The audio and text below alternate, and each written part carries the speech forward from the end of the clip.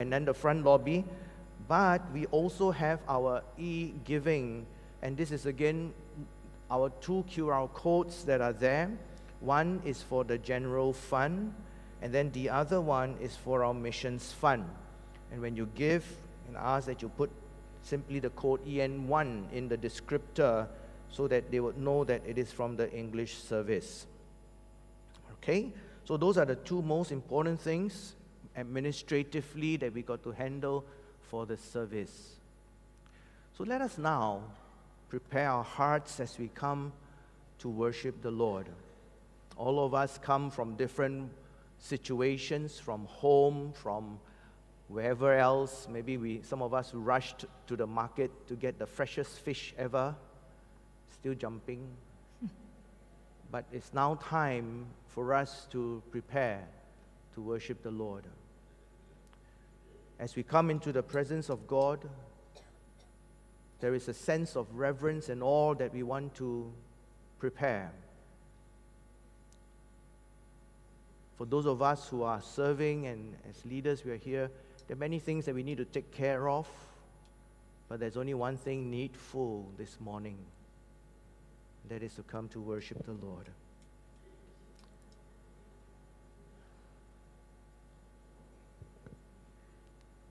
If it helps you to close your eyes, to block out a few things that's in your mind, just do so. When service begins, I want you to recognize that we do it as a body of Christ, community. But this couple of minutes we have before service begins, would you prepare your heart to worship the Lord?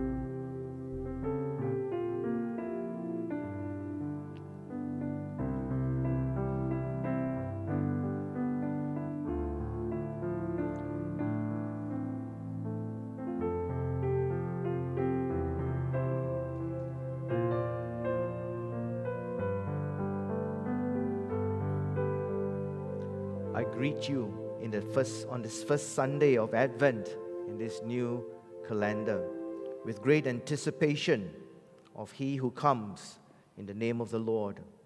You know, Joseph had a dream, and God made a way for the light of the world. Joseph and Mary gave their trust, and God restores a broken people. A child is born. The world will never be the same again. Together, let us watch. Together, let us wait. Jesus is coming. I want to invite Sharon to come Every week, we would light a candle in anticipation of Christmas, the day that the Lord is born. We do this in anticipation, trying to build up our anticipation, trying to cause us to recognize and realize that, whoa, what a significant event. The basis of all that we believe in happened 2,000 years ago. We who are so far away, we do this in remembrance, in trying again to set our hearts right. There is a portion for the congregation to read, and I ask that you will respond to the reading that is in bold. I was glad when they said to me, Let us go to the house of the Lord. We are glad together. We are glad whether we walk in or were brought out, brought in, whether we logged on or tuned in. We are glad to be here in this community with this family. It is a place of joyful hope, of radical welcome. It is a place where together we can hope in wondrous anticipation of the kingdom to come. Many people shall come and say, Come, let us go up to the mountain of the Lord, to the house of God of Jacob that God may teach us God's way and that we may walk in God's path.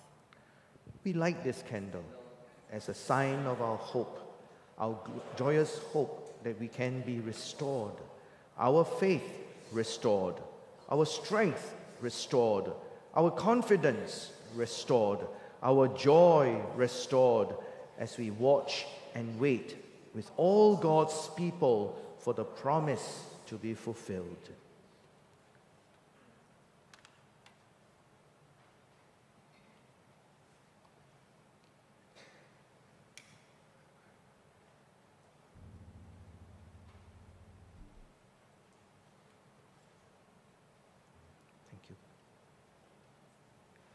Sharon. Shall we all stand together?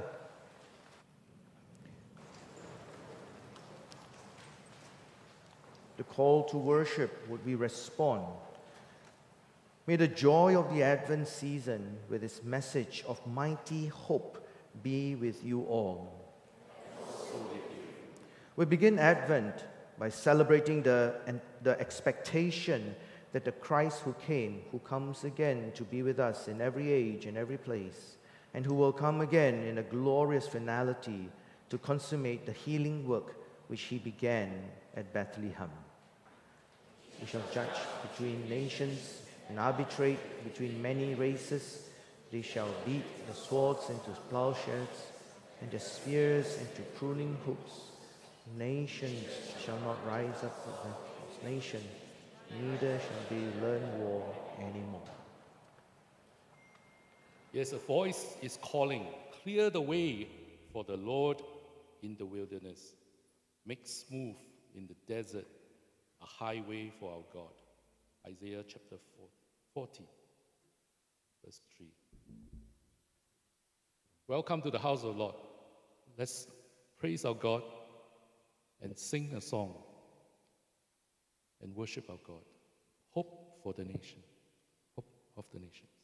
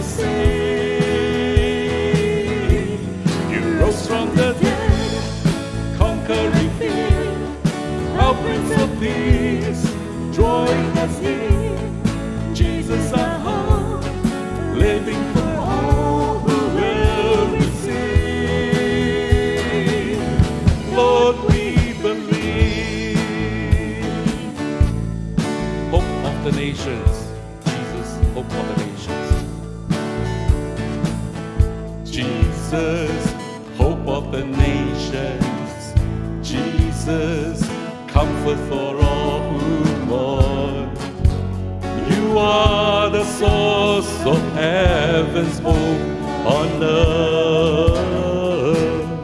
Jesus, light in the darkness. Jesus, truth in his circumstance.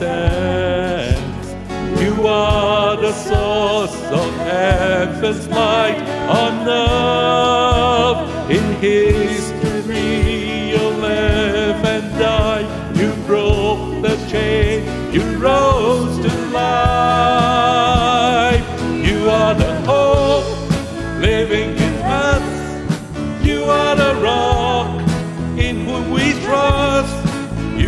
The light shining for all the world to see.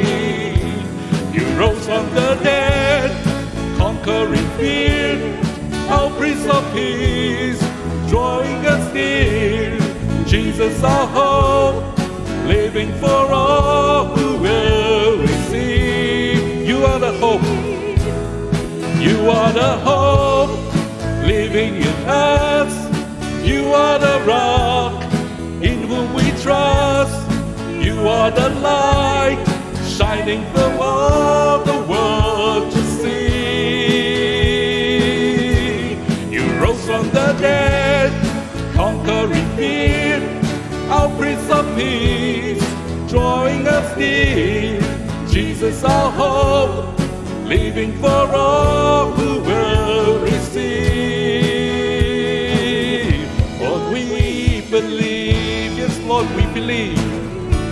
Lord, we believe.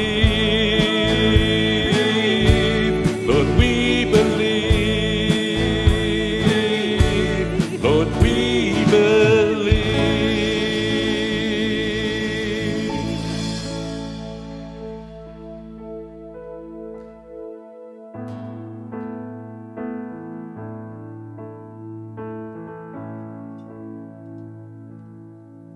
Christ whose glory fills the skies, cries the everlasting light, Son of righteousness arise and triumph o'er this chains of mine. Come thou Lord, awaited one, in the fullness of your love and truth. is cross my shake, and I will never be the same. So here I wait in hope of you, my my soul's longing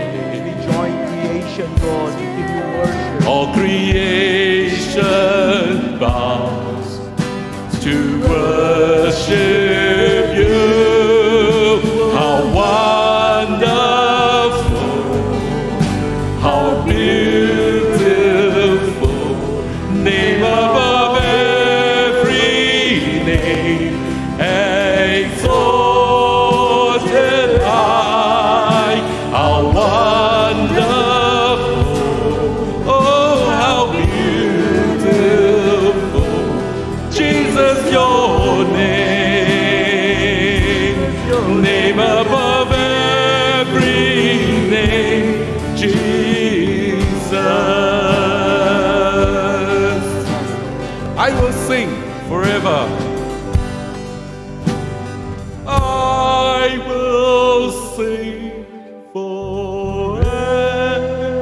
forever. Jesus, I love Yes, you. Lord. I love you, Lord.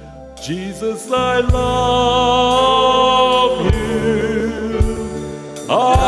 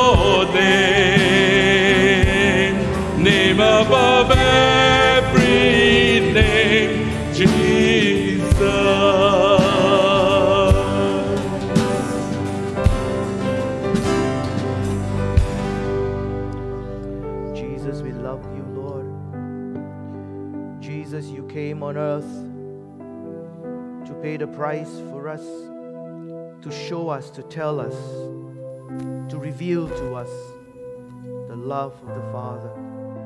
God, again, you didn't have to do this. You could have just spoken the word, and somehow you expect all of creation to love you. But God, you didn't do that.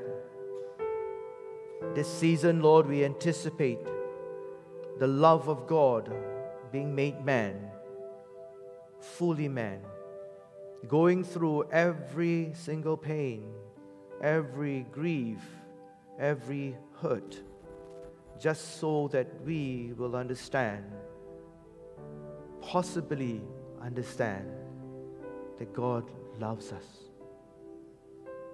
Thank you, Lord, for loving us. And Lord, we want to love you in return. We want to lift your name and exalt you. God, it is not just being God, though we worship you because of that,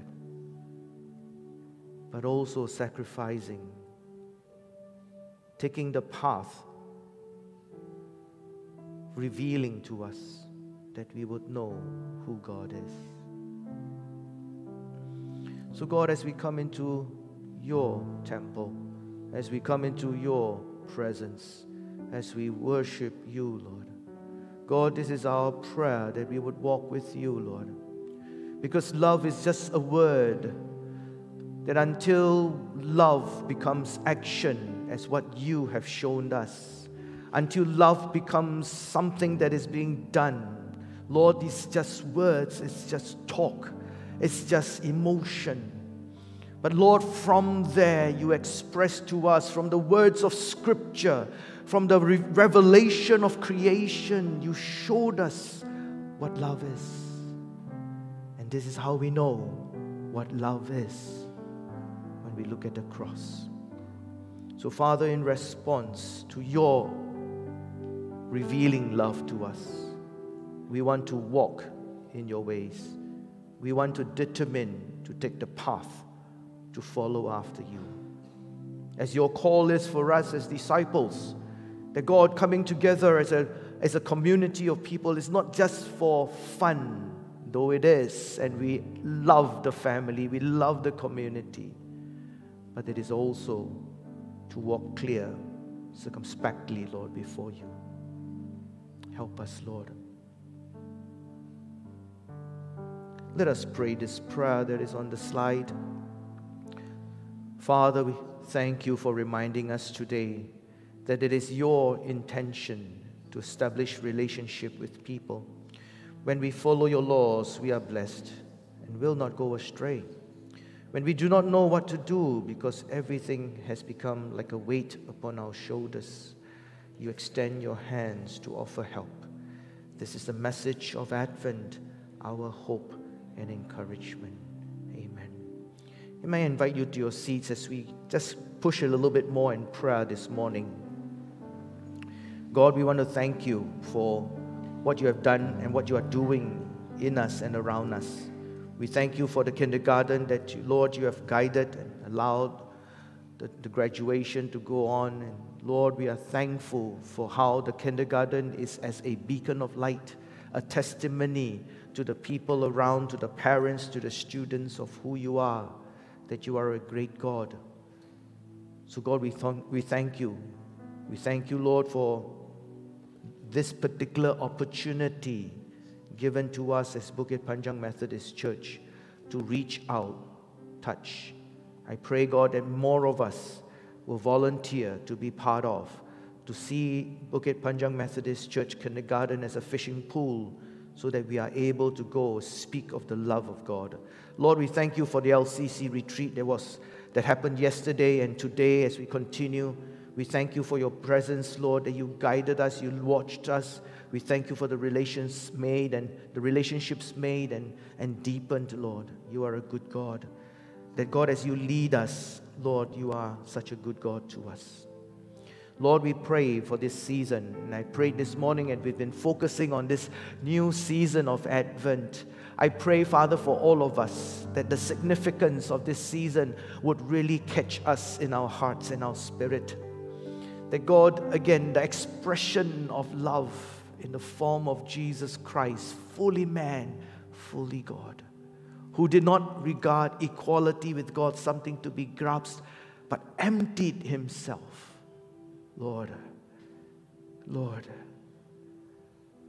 cause us to respond, Lord, to you. Cause us, Lord, to love you beyond words, mind, will, spirit, Lord. Cause us to love you with all our hearts, mind, strength, soul.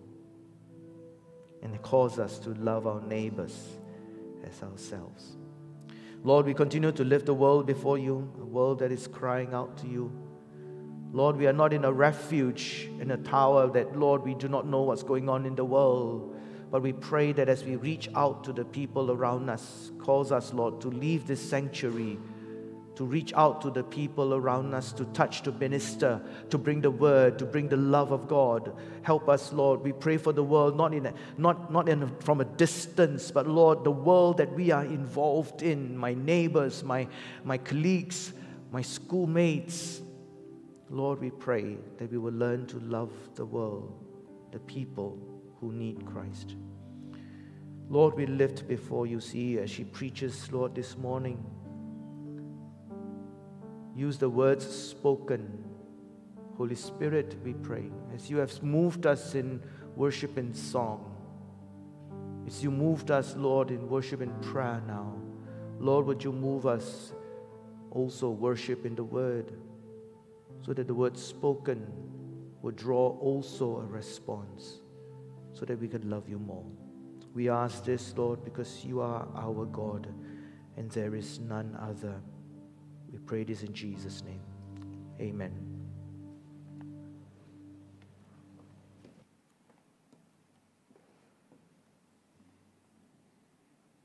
Today's scripture reading is taken from Isaiah chapter 2, verses 1 to 5. I'm reading from the NIV translation. This is what Isaiah, son of Amos, saw concerning Judah and Jerusalem. In the last days, the mountains of the Lord's temple will be established as the highest of the mountains. It will be exalted above the hills, and all nations will stream to it. Many peoples will come and say, Come, let us go up to the mountain of the Lord, to the temple of the God of Jacob. He will teach us his ways, so that we may walk in his paths. The law will go out from Zion, the word of the Lord from Jerusalem. He will judge between the nations and will settle disputes for many peoples. They will beat their swords into plowshares and their spears into pruning hooks. Nation will not take up sword against nation, nor will they train for war anymore. Come, descendants of Jacob, let us walk in the light of the Lord. This is the word of the Lord.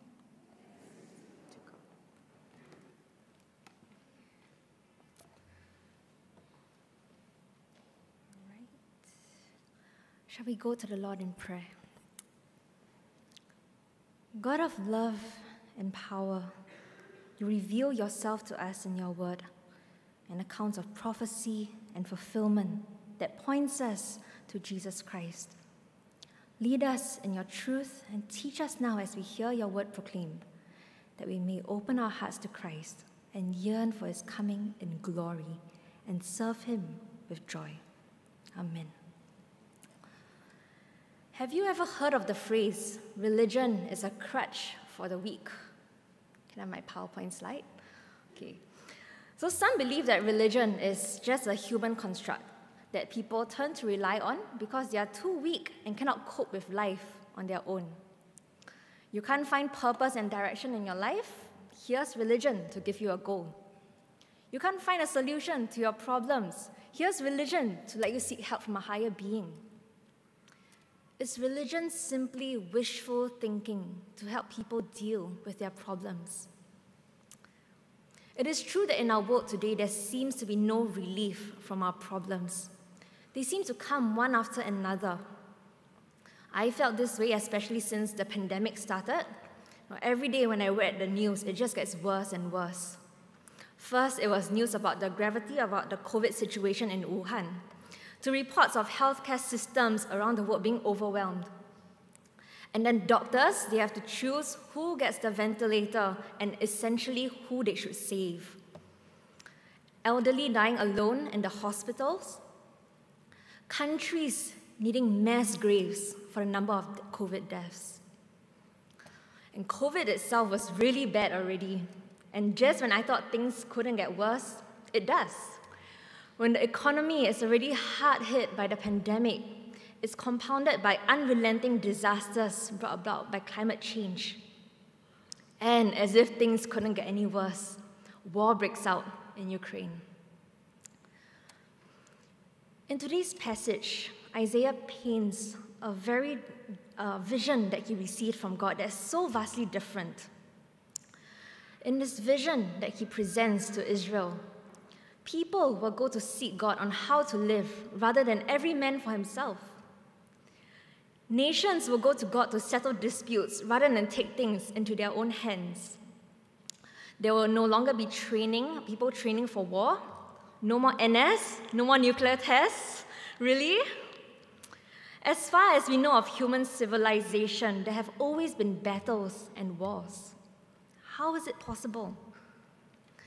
Is this passage also just a crutch for us to believe what we hope to be true when there's actually no hope for change?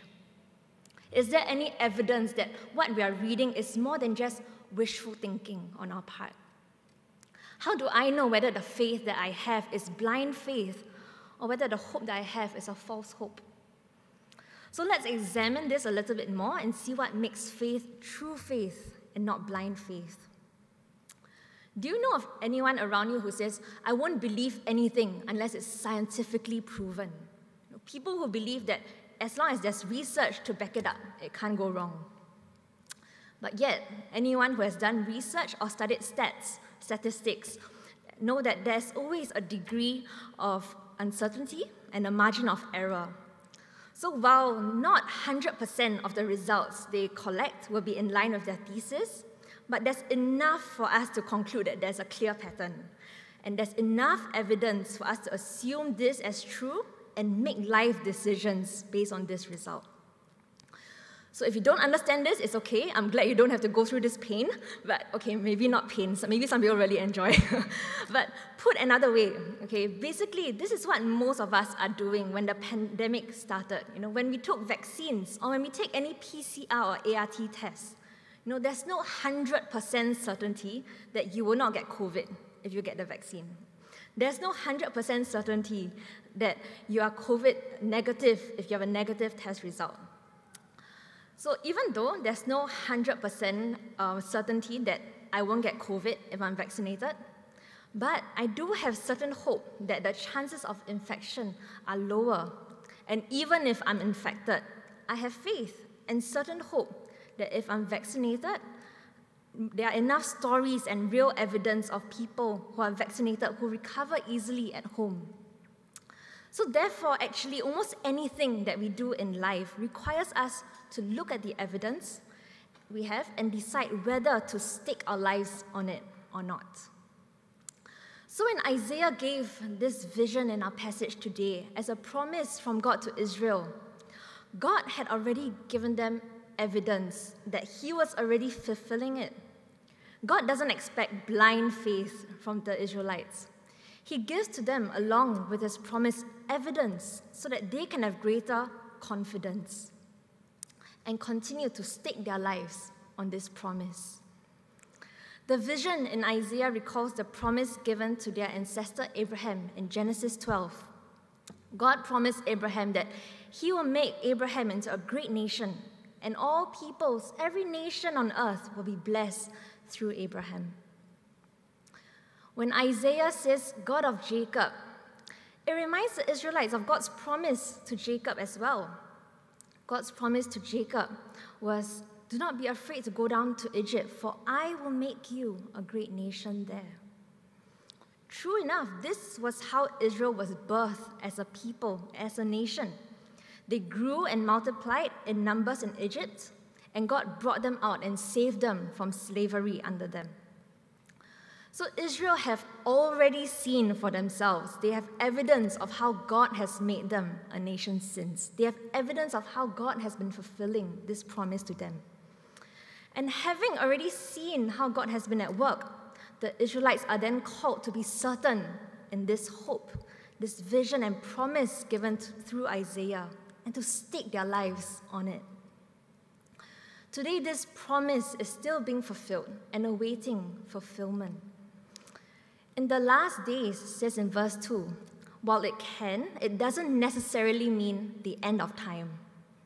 It simply means the days afterwards to come, leading up until the end of something. And in the context of Isaiah, God promises that we'll be seeing this vision come true all the way until the judgment and the redemption of God's people is complete, which we know will happen when Christ comes again. Therefore, this promise in Isaiah is also for us. And similarly, for us, God also does not expect us to hope in the fulfillment of this promise without any evidence of it coming to fruition. So, in this passage, God wants us to come to Him and experience the fulfillment of His promise. This is our central truth today that God wants us to come to Him and experience the fulfillment of His promise. We are starting a new year in the Christian calendar today with the season of Advent, during which we anticipate the coming of Christ with expectancy. And in this time of waiting, God offers us hope in our waiting when we come to Him. As we continue practicing CPR again in this new year, and as we do so, let's remember that we reach out to others because God reached out to us first. And hence, this is the focus of our Advent this year. God first reached out to us to cultivate relationship with us. And all that we do, even in our own CPR efforts, is a response to the hope that He has given us. From today's passage, God is reaching out to us. God wants us to come to Him and experience the fulfillment of His promise. He is calling us to have confidence in Him through the evidence that He gives us and to be part of this promise by staking our lives on it. We'll go on to look how God has been fulfilling this promise already, and more importantly, how we are part of this promise in Isaiah. So, first, God's promise to us in Isaiah is his promise to dwell with men. Many ancient religions, they saw mountains as the homes of gods. So, mountain of the Lord is where God has come to dwell with his people. God's promise here is that he will make his home among us. So, how has God been fulfilling this promise already? We can see that this was evidenced through Jesus. That Jesus was God incarnate, coming to live and dwell among men. All the Gospels, the book of Matthew, Mark, Luke, and John, documented this with plenty of eyewitness accounts cited in their, um, in their writings. The mountain where God dwells will be the highest among others, which means that God will triumph over all other gods and powers. And this was also fulfilled in Christ. Even demons obey and fear Jesus because of the authority he has over them. And after Jesus ascended to heaven, we continue to see God's promise that he will dwell with men being fulfilled through the Holy Spirit. Those who place their faith in Christ, Jesus sent the Holy Spirit to dwell with them until he comes again. In 2 Corinthians, it says, He anointed us, He set us apart, marked us as people who belong to Him, and put the Holy Spirit in our hearts as a deposit. I think most of you know how deposits work, yeah? If you want to buy something, you pay a certain amount first to just mark it as yours, and at a later time, you pay in full and take it home. So the Holy Spirit is given to us as a deposit to mark that we are God's people. And the Holy Spirit who lives in us is greater than any other spirit. No one else, no evil can take you. To put this in a childish and Singaporean way, so sometimes if I'm eating an ice cream I, and I really don't want like my siblings to take it because I know they will bite off half my ice cream. So what I do is I just lick around the whole ice cream to just chope this as mine. Okay, make it very disgusting. I know it's very childish, but I need to protect my ice cream, okay? So, okay, sorry, I didn't mean to use such a disgusting illustration, but the saliva on the ice cream, okay, is like the Holy Spirit with us, you know, protecting us from being taken away until Christ comes to take us for himself. So, yes, do we, do we have the evidence of the Holy Spirit dwelling in man? Yes, we have evidence. We've seen it happen in dramatic ways in the book of Acts, where believers burst out in tongues. And I believe it was necessary then for the Jews and Israelites to see that the same Holy Spirit they have received, people from other nations have received it too. And people of other nations have also been marked as God's people. I believe it was necessary for them. But since then, in the letters of Paul, we read that not all have the gift of tongues. So the Holy Spirit's indwelling, sorry, yep, this. So the Holy Spirit's indwelling does come in quieter, less dramatic ways also. So John Wesley, um, yeah, the founder of Methodism, at Aldersgate, he personally experienced the Holy Spirit's indwelling at his Aldersgate experience. He was listening to Martin Luther's preface to Romans when he felt strangely warmed in his heart and a deep assurance that God had taken away all his sins and saved him. Some of you may have received that same assurance that you belong to God in different ways. Some of you may have received visions. Some of you may have just experienced a strange sense of peace coming over you while you prayed. For me, I've had both. And even now, I continue to experience the Holy Spirit giving me assurances in times of doubt. Assurances that the accusations of the devil has no power over me. This is God giving us countless evidence to give us confidence to hold on to this promise in Isaiah. From recorded history and scripture to recorded accounts of church fathers to our own experiences. God's promise to dwell with men is not just wishful thinking. We have this guarantee through the Holy Spirit, and we can experience the presence of God with us through the Holy Spirit. If you have not had this experience as a Christian, this is something that we can boldly ask for because it's God's promise. We can boldly ask for the personal assurance that we belong to God and He dwells with us. So come to God, experience the fulfilling of His promise that He dwells with us. It's this very hope that you experience that will lead you to want to share the gospel with others because you know it's real. You know that God is with you. And this is the next promise he wants us to experience the spreading of God's word by men. Interesting, right? Because this sounds more like a promise for us to keep than for God to keep. So, how is this God's promise? Isaiah, um, yeah, chapter 2, verse 2 says, All nations will stream to the mountain of the Lord, where God is. Usually, we think of a stream flowing, being pulled by gravity from a higher level to a lower level, right? But here, God is that center of gravity on the top of the mountain, and people are attracted and drawn upwards towards Him. This is the second part of the promise that people will be drawn and attracted to God. Not because they are being pulled against their own will, but because God's goodness is so attractive to them that they even call others. Many peoples here refer to nations other than Israel, so also known as Gentiles. So they're encouraging one another to come to this good thing that they have found. And we can see this being fulfilled in the life of uh, the Apostle Paul. When he calls the Gentile Philippians partners in the gospel, the people who Paul was calling to follow him to come to Jesus they are now partners with Paul in calling others to come to know Christ. We see this promise being fulfilled in history, how Christianity has spread from Jerusalem to so many nations. And now there are missionaries from so many nations going out to everywhere. We can even see this promise being fulfilled in BPMC. It's probably how you came to know God yourself, because someone told you about Him even if it's your parents. And we are participating in this promise every time we share the gospel or even our own testimony with someone else. But now there's a very important detail.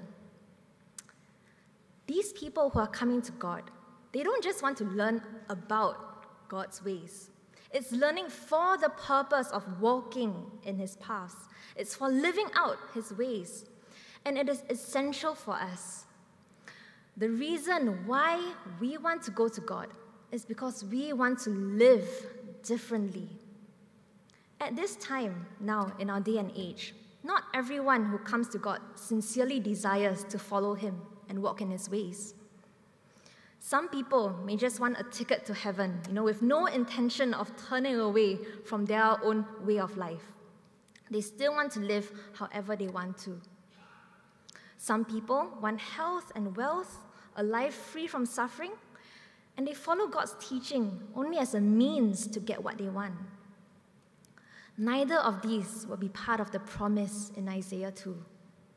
All those who are going to God sincerely desire to learn and walk in His ways. Do you desire to learn and walk in God's ways? If you do, then you must go to His Word. There is no other source. It is important that the source of the Word of the Lord is stated clearly from Jerusalem. There is only one way then for the Israelites to know God and learn His ways, and that is through the scriptures that they had, the law. And the only way for us to learn and walk in God's ways is also through the scriptures that we have, the Bible. When we come to seek God in His Word through the Bible, to let the Bible teach us and then apply it, then people will be able to tell that you are living differently. We may not be perfect, but when we live differently, people can tell this person's values have changed. This person is not like others, it's not like what he used to be. Perhaps you know of such people. Perhaps people have told you that yourself. It's through your own changed life that you will see people attracted to God to stream up that mountain. And this is what makes other people say, Come, let us go to God, so that He will teach us His ways, so that we may walk in His paths. Someone shared with me that she came to Christ because she saw how a family member changed so much after becoming a Christian. So much that she picked up the Bible to read for herself. And when she prayed, she experienced such a sense of peace that washed over her. And today, she is a disciple of Christ. Just like that, one changed life leads to another. These countless evidences of people sincerely seeking to know God and live differently, the countless evidences of changed lives in yourself and others when we seek Him, these are all God letting us experience the fulfillment of His promise. How God's word is being spread by men to each other, by their lives.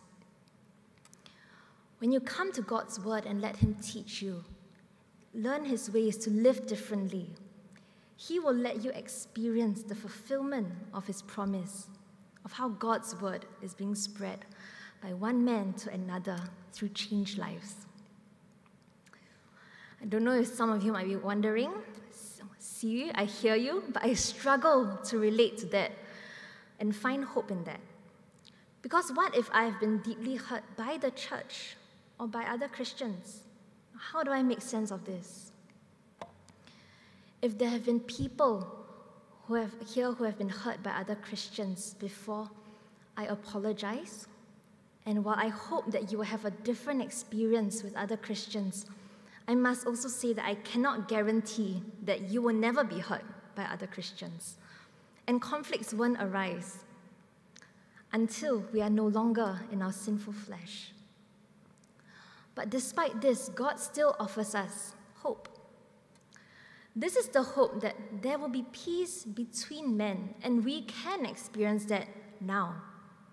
If we come to God, we will experience the fulfillment of this promise. Verse 4 talks about how, when there are disputes, God Himself will be the judge over it.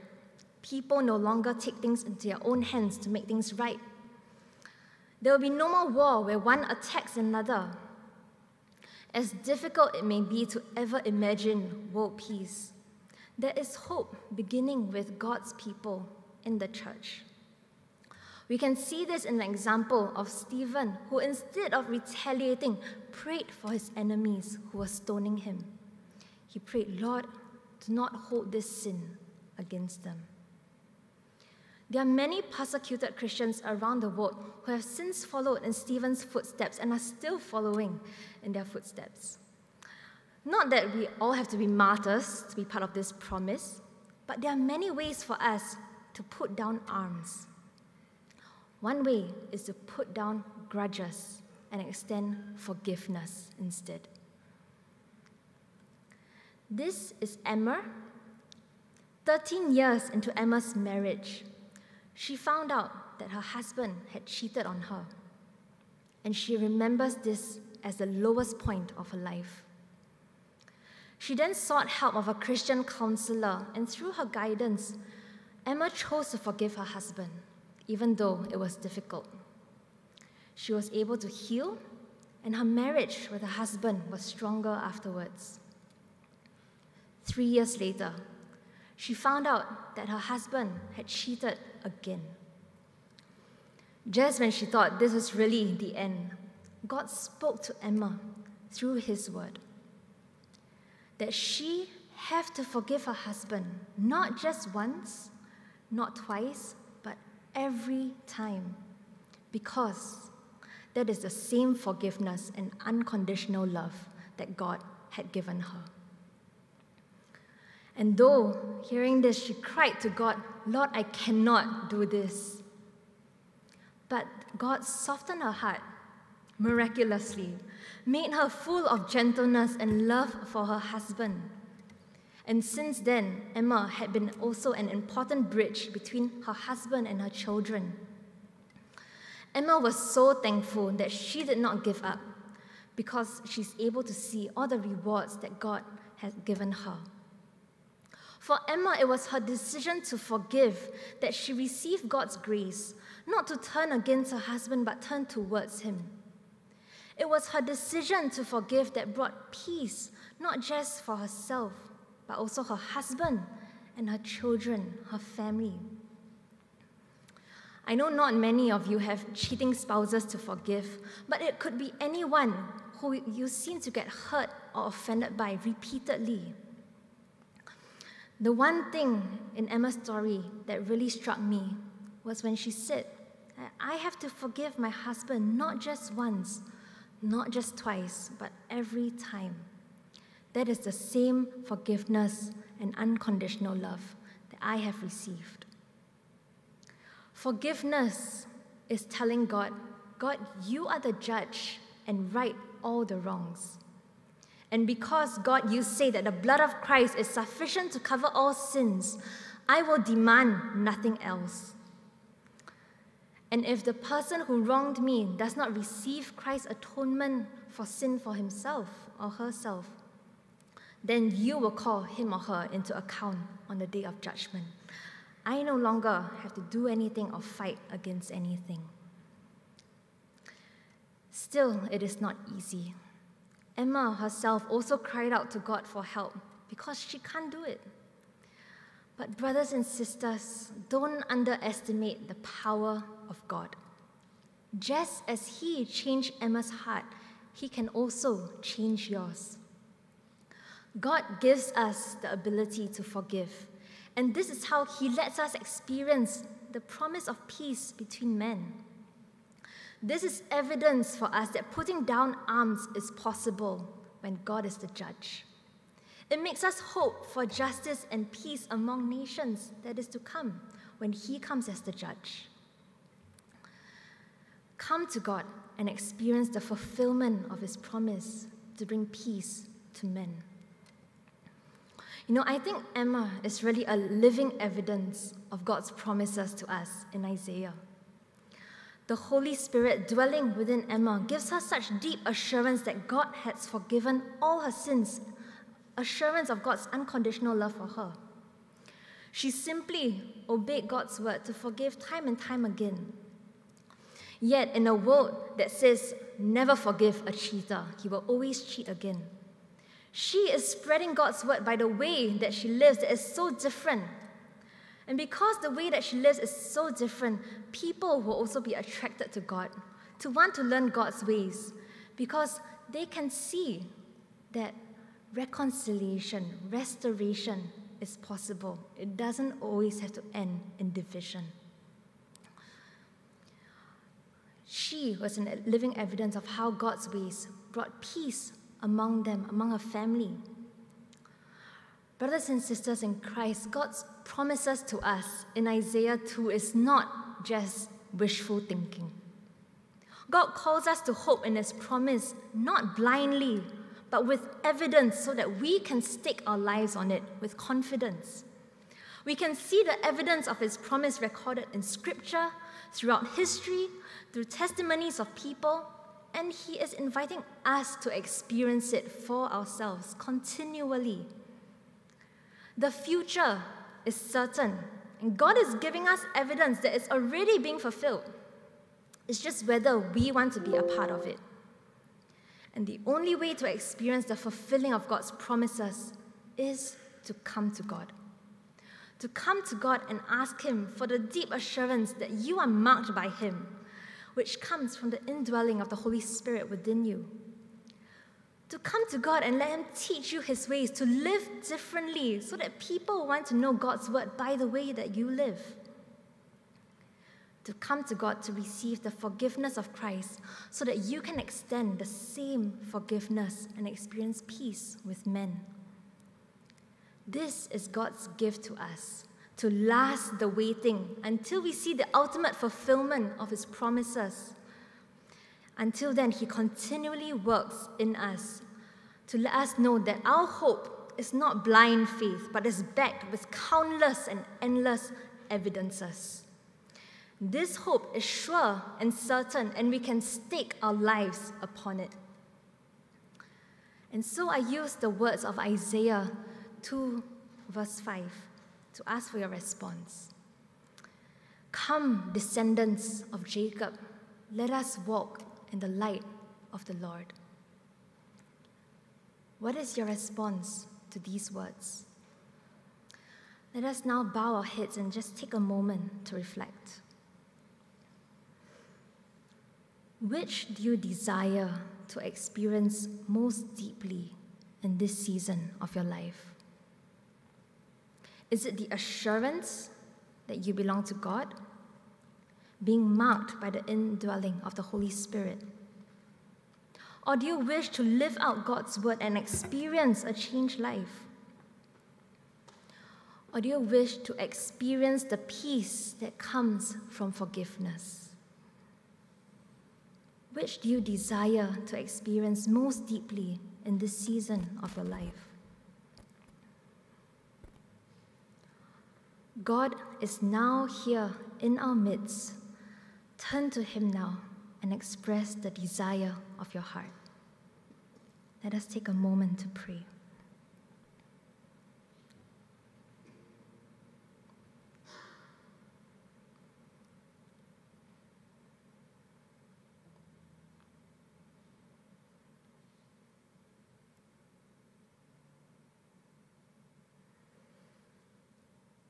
God of hope, giver of good gifts. Our hearts desire the, the Spirit, testifying with our own spirit that we are your children. Our hearts desire to be taught by your word so that we may walk in your ways and live differently. Our hearts desire to forgive just as you have forgiven us. And we acknowledge, Lord, that all this is only possible by you, and there's nothing we can do by our own efforts. And so, Lord, we come to you with our sincere pleas and await with certain hope for you to come to us in our weakness and let us experience the fulfillment of your promises in our lives. We ask this in the name of Jesus Christ our Lord. Amen. For those of you who responded, we would love to pray with you personally as well and continue journeying together with you. And if that's something you would like, do let us know via the QR code that will be put up at the end of the service. Shall we stand and respond to God with a song of response?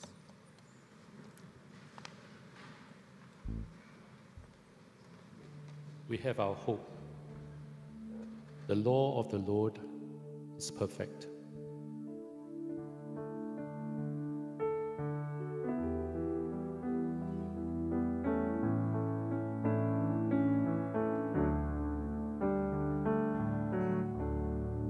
The Lord of the Lord is perfect, converting the soul.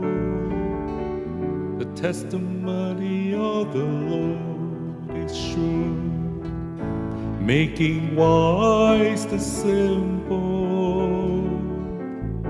More to be desired are they than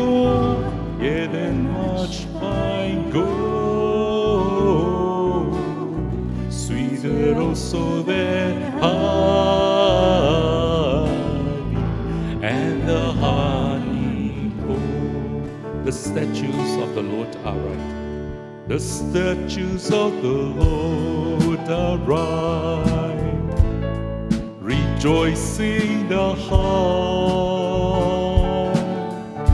The commandments of the Lord are pure, and enlightening the eyes.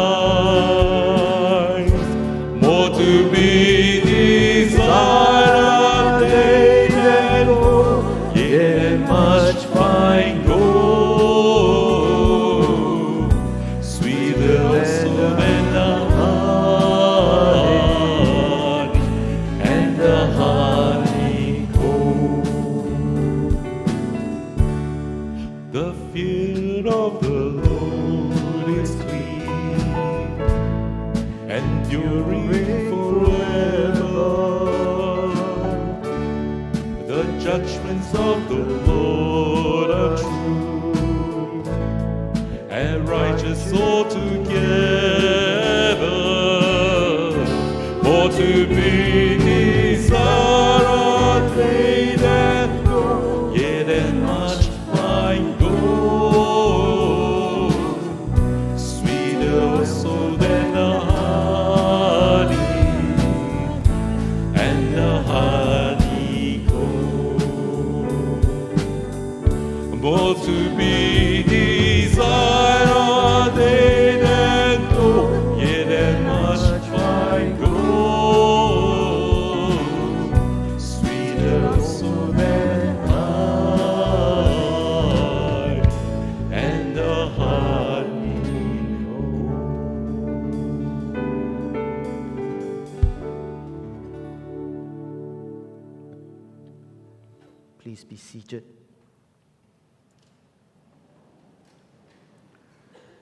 Today we dedicate the following people, uh, the English Works Committee members,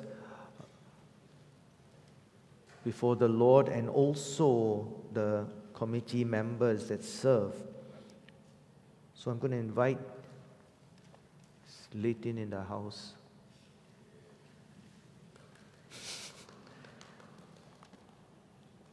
to come and read the names of our English Works Committee members. When your names are read, could you please come on stage? English, um, good morning, brothers and sisters in Christ. Mike can move one. I present to you the English Works Committee 2023, the pastor in charge, English Congregational Pastor, Reverend Dek Yong Tek, Associate Pastor, Reverend Eric Tan, Diaconal Minister, Attachment, Reverend Dr. Andrew Pei. He's preaching at the Paya Lebar Methodist Church preaching point this morning. The chairperson of this committee is Mr. Vincent Chua. Lay leader, Miss Karen Low. Associate lay leader, Miss Amy Go. English Worship Service Committee, Mr. Chi Jin Wen. Worship and Music Team Head, Miss Frances Teo. Audio, Visual and Lights Team Head, Mr. William Wong. He's not able to be with us today. Operations Team Head, Mr. George Tan. WOW Committee Chairperson, Mr. Chia Wee Tek, who is with the WOW now. Cell Group Ministry Head Ms. Yun Yu Ting, Seniors Ministry Head Dr. Stephen Yeo, Men's Ministry Head Mr. Vincent Chua, Ladies Ministry Head Ms. Tu Mei Yong, Young Adults Ministry Head Mr. Daniel Sia, Young Adults Ministry Co-Head Ms. Melissa T, who is also not able to be with us today. Sunday School Head Ms. Lin Tan Ling Na, Prayer Ministry Head Reverend Lik Yong Tek, Outreach and Social Concerns Committee Chairperson, Church Level, Mr. Tamastas, Tapastas. Discipleship and Nurture Committee Chairperson, Church Level, Ms. Eng Lai Wah. Finance Committee Chairperson, Church Level, Ms. Amy Go. Lay Ministry, Ministry Staff, Ms. Wong Si Yu and Ms. Marilyn Shea Eng, who is also with the WOW now, and media producer, Ms. Ngo Jia Ro. Thank you very much, Lei Tin. Can I just make a comment? Uh, some of these positions at the church level, we have asked them to join us at the EWC to be members, to give wisdom as well. So some of these that you see at the church level, uh, but yet they are also with us in the English Works Committee. Can I ask that all the committee members turn and face the front here as we Church, when, when we do this, it's very frightening to have people behind you, huh? So all the leaders stand here. It's very frightening to have people behind because you can't see what people are doing behind. But leaders lead. Leaders don't chase. And as we lead as leaders, we ask that you pray for us. So that as leaders, when we lead, you see us in action Pray that we will do well. Pray that our lives will be right because when we lead, we are the first ones. So we pray and ask that you would help us to do well as well. Dear co workers, and I say this with celebration not start yet. I know Chinese New Year coming, but Singapore don't allow firecracker. Leaders, I say this with much love and much pain and much surrender as well. That as leaders, when we do this, we are called by God, chosen by God, but yet our lives are asked, we are asked to lead it in a particular way. And I pray that as we answer the Lord, Holy Spirit will empower us co workers here have been called by God and chosen by the people of God for leadership in the church. Each ministry is a blessing and a serious responsibility. It recognizes your special gifts, calls you to work in partnership with God among us and for us. In love, we thank you for accepting your obligations and challenge you to offer your best to the Lord to this congregation and to our ministry in the world. Live a life in Christ, make Him known in your witness and in your work. As I ask you these questions, would you respond? Who is your Lord and Savior? Jesus Christ is my Lord and Savior. Will you be Christ's faithful disciple, obeying His word and showing His love? I will with God's help. Will you devote yourself to the service of God in the church and in the world? I will with God's help. Will you so live that you are an example to the community of what it means to belong to Christ? I will with God's help. Will you do all in your power to be faithful in the task for which you have been chosen? I will with God's help. Let us pray together. Lord, we anoint these leaders. They come to you not for fame or fortune, but Lord, in the surrender of their lives as they lay it at the cross. Lord, would you bring a renewed resurrection into their lives so that they would know that when they serve you, Lord, that which touches human, physical, and spiritual will be seen by the people around us. Your call for us is not to maintain a particular job or role. Your call for us is to bring the poor, the needy, the downtrodden, the desperate, and to bring them to the cross of Jesus Christ. If that be our role, then Lord, would you help us to be found at the cross of Jesus Christ? Bring a renewal, Lord, to your leaders. Bring a change, Lord, to your leaders. So that, Lord, they stand not just as operational people, but they stand, Lord, as shepherds. They stand, Lord, as people who watch others. So anoint them, Holy Spirit, I pray. Put your power upon them, put your words upon them, put the supernatural upon them so that they could live their lives fully, Lord, for you. And Lord, when we fail, when we stumble, would we come back to the cross and find you, the one who forgives us, that we may forgive as well. We thank you, Lord, in Jesus' most precious name, Lord. Amen. Amen. Can I invite you to face the congregation? Can I ask that you stand? there is a response. Your response is simple. Model answer is we will with God's help. Let me ask you this question, members of the congregation, community of faith at Bukit Panjang Methodist Church, rejoice that God provides laborers for the vineyards. Will you do all you can to assist and encourage them in the responsibilities to which they have been called, giving them your cooperation, your counsel, and your prayers. Eh, Let's do it together again with a full gusto. We will, with God's help. Thank you so much. I feel the reverberation behind.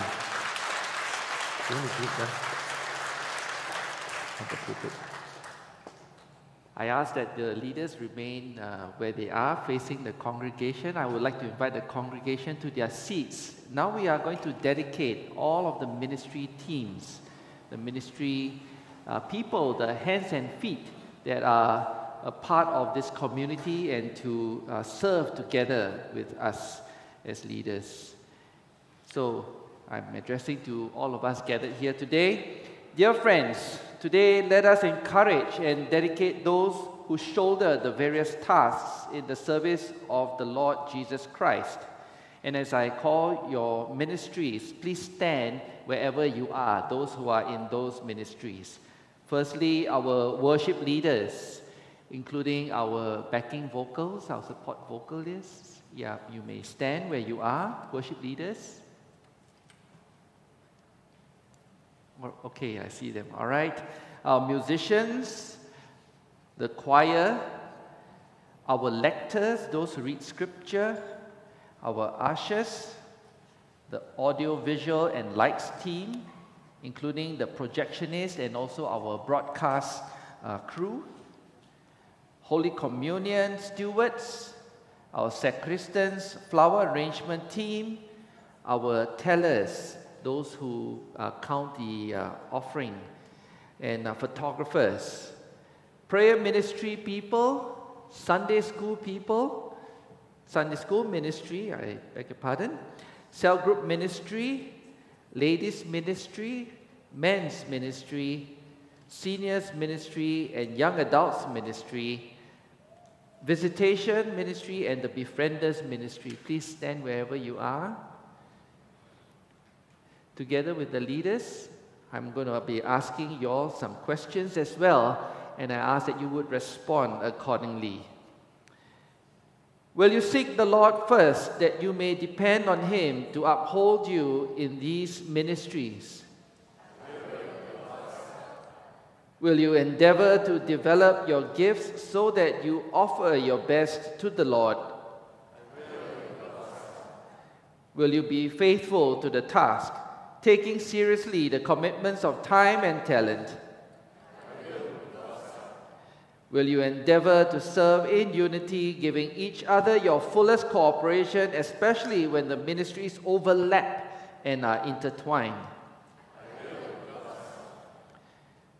So, the rest of the congregation who are seated, I'm addressing you now. There is also an appropriate response. You know who you are. If you are seated, I ask that you stand together with all those who are already standing and respond accordingly. Dear brothers and sisters, I commend these persons to you. They are in your midst. The various ministries in the church have been given to them. Will you sustain them with your encouragement and your prayers? We recognize this day as persons who have been called to serve in our midst and dedicate you to serve in His name.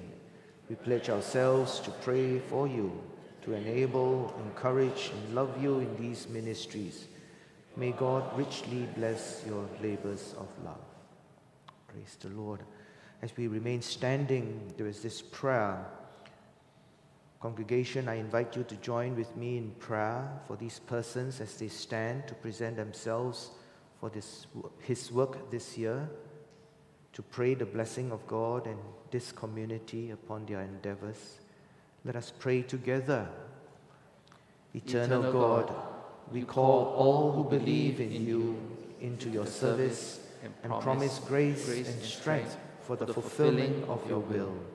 Bless these men and women who have been called, have offered themselves for this office within your church. Lead them to deeper knowledge of you. Give them diligence and faithfulness in the study of your word. Tenderness and patience with all whom they serve, and sincerity, singleness of mind, and humility as they accept the responsibilities laid upon them. Help them and us to follow in Christ's path and be a light both in this place and to the world.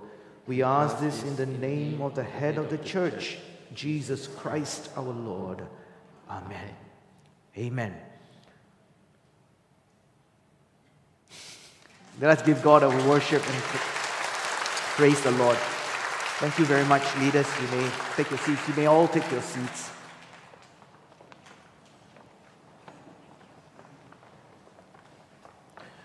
We now move into our tithes and offering.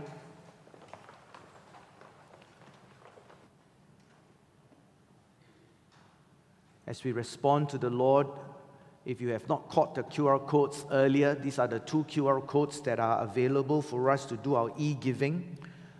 On your left is for the general fund.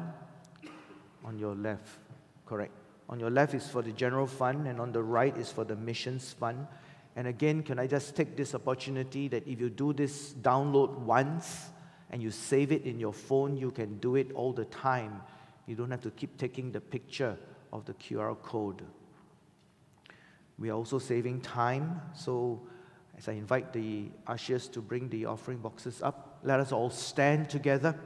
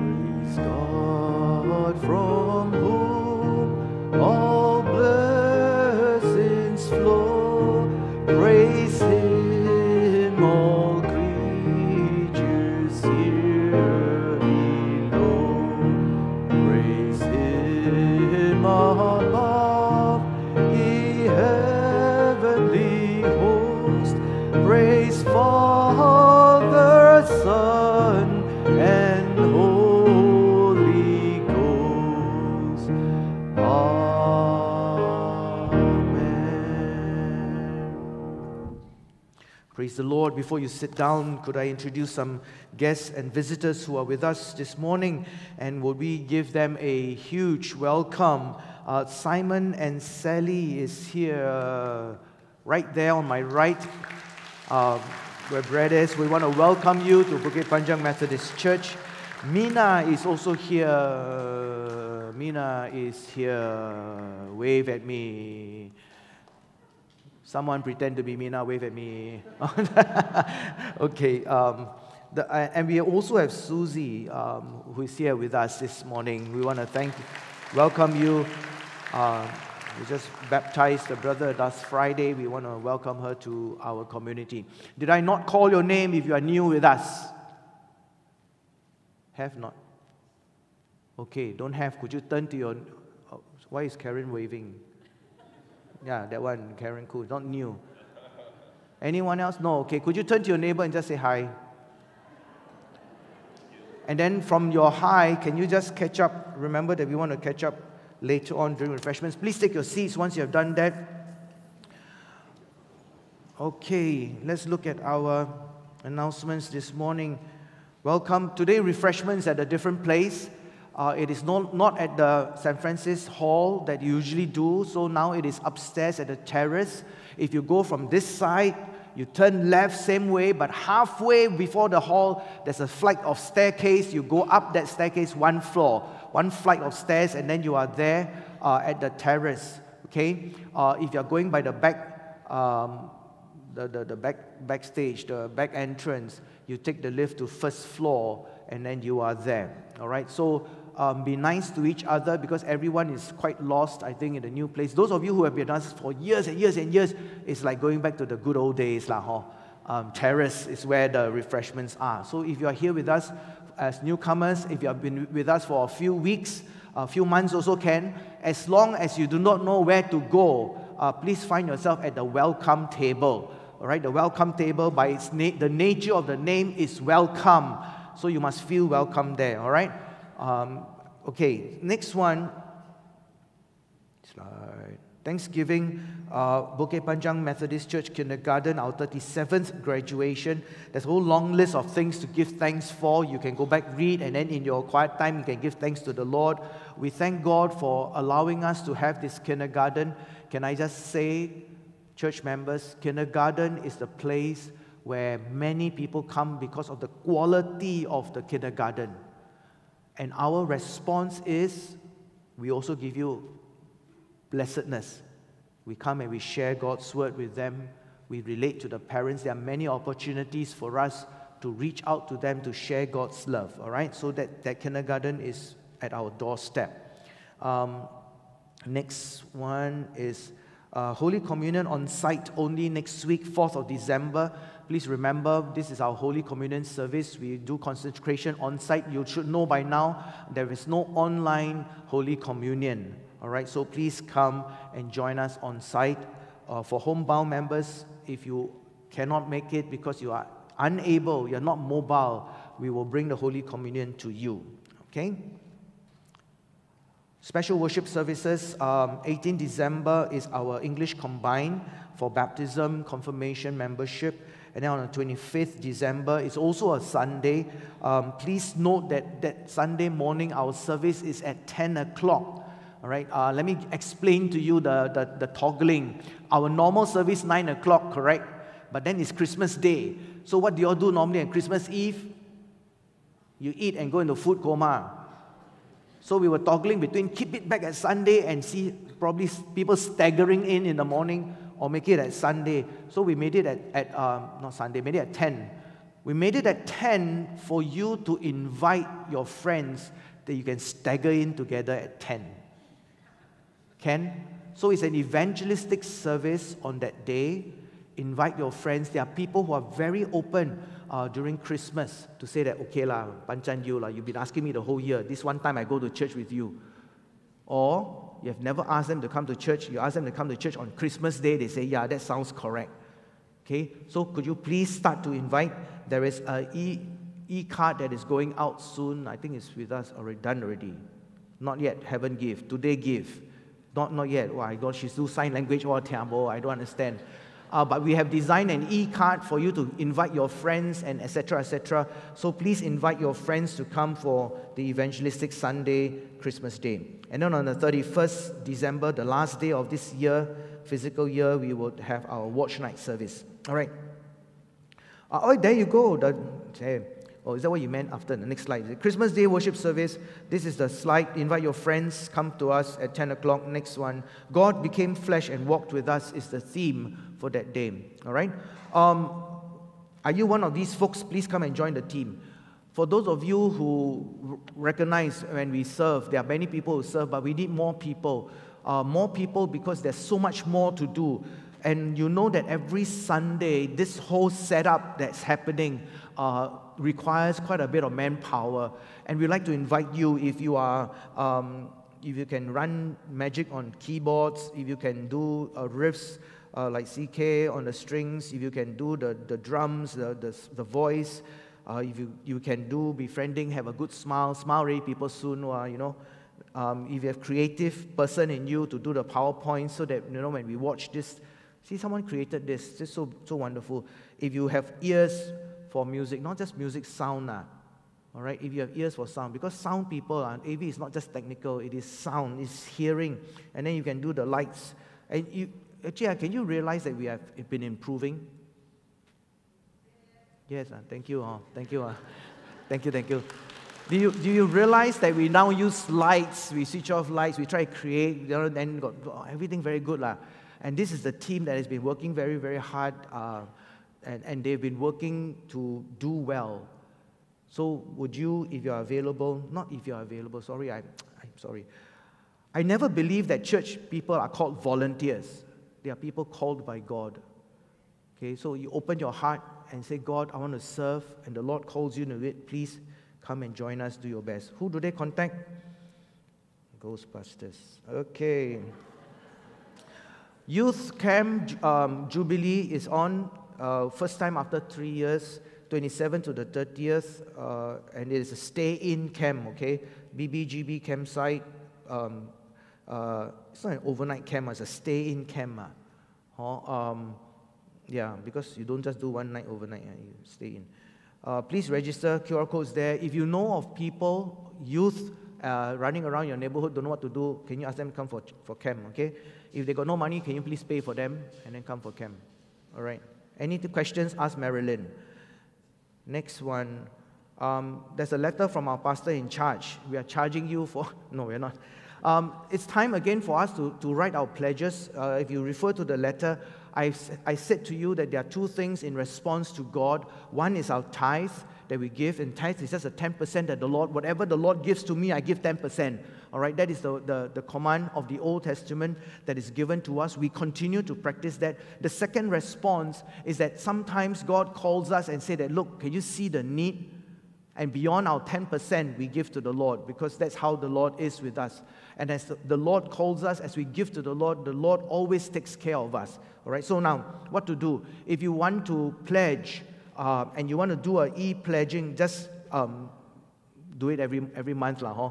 Uh, but if you need a number, and how the church is run is that we, we actually issue each person a number so that you can also keep track. You can use a hard copy, register, and drop it into our offering, uh, offering box. It's now up here.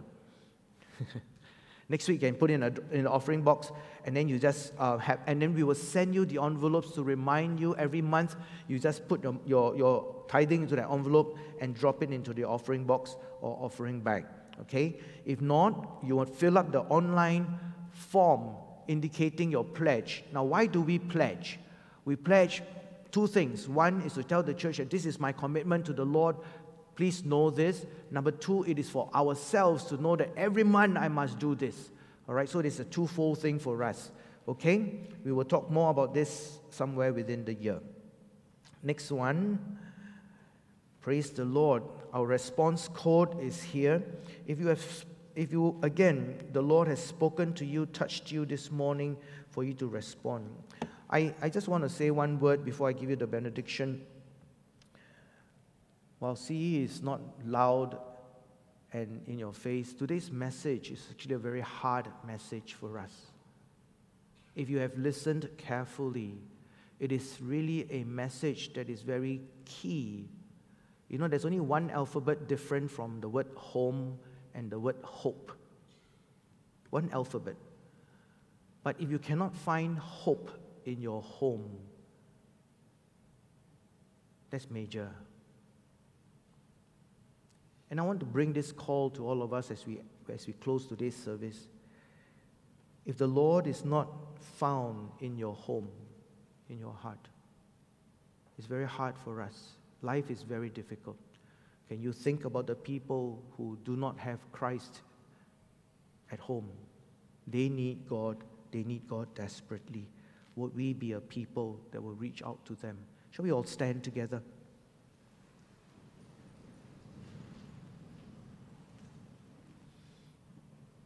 Would you receive God's blessing and hope? Be a people of hope. Let hope live in your heart. Share the hope of Christ with all you meet.